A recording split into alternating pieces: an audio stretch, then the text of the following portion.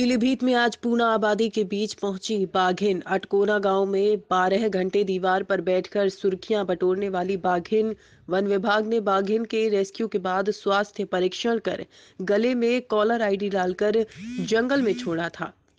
बाघिन अब जंगल से निकलकर पीलीभीत शहर में स्थित जेपी पैलेस के निकट पहुँची। पीलीभीत से जिला संवाददाता नन्हीलाल कश्यप की रिपोर्ट।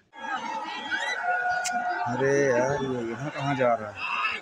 दिखे भैया ये यहाँ जा रहा है यार।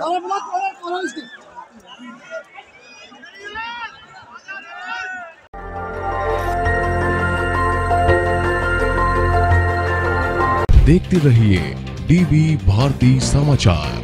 नज़र हर खबर पर।